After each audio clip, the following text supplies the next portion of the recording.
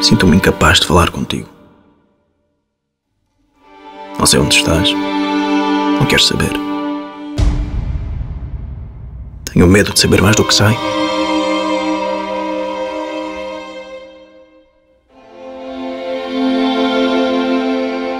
Uma dor de cada vez basta.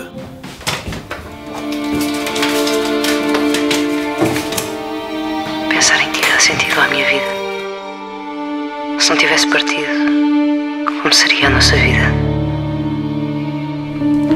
Se é que ela alguma vez foi nossa.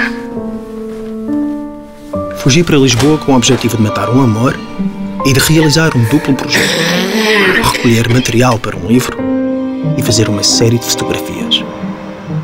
A fugir do quê? Do meu coração, de mim,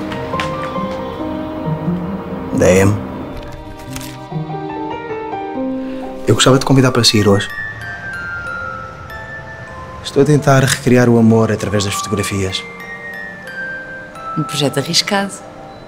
A estratégia era elementar: fotografar uma mulher e depois outra. Em seguida, mostrar as fotografias da primeira à segunda e vice-versa.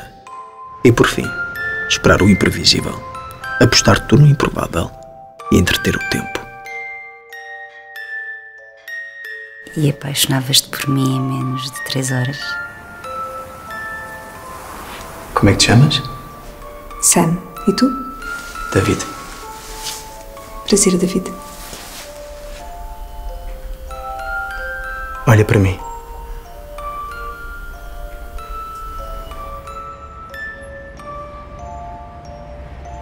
Queres fotografar-me?